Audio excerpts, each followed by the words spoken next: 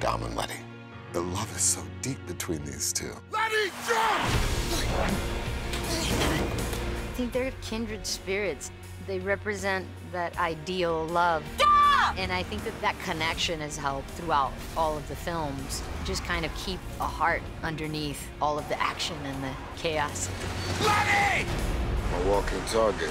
I don't want you around when they catch up to me. I think that what Letty admires about Dom is his independence, his free-spirited gusto for life. You know that's not my style. I gotta ride or die, right? Albert's just right on this one. Dom and Letty have had from the beginning unshakable understanding that they're soulmates.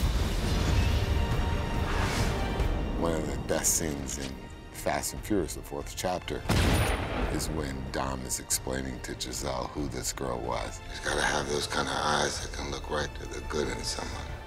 You must have loved her very much.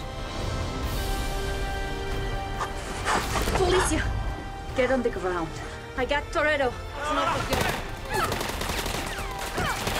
It's like a new relationship for, you know, Dom and Elena. This guy is a criminal, You're under arrest. And she doesn't see that in him.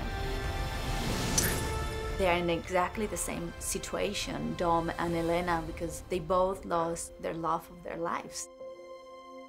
Hey, They feel like they may be the only people that can understand one another. she's so special to you. I never thought anyone could understand how much, but you do.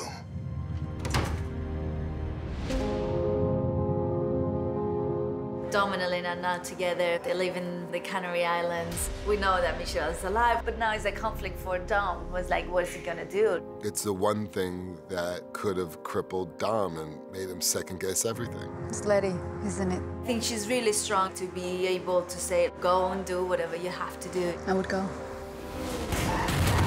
He has to go on a prayer. Letty, she very well may be alive. We've watched Dom have to hold on to his conviction that she loved him. Letty, this woman's shooting you, and he's trying to tell all his buddies she loves me. Maybe the Letty we once knew is gone. You don't turn your back on family, even when they do. They've been together through hell and back. It's rare to see a combination like that. This guy's crazy. These two characters are so electrifying together on screen.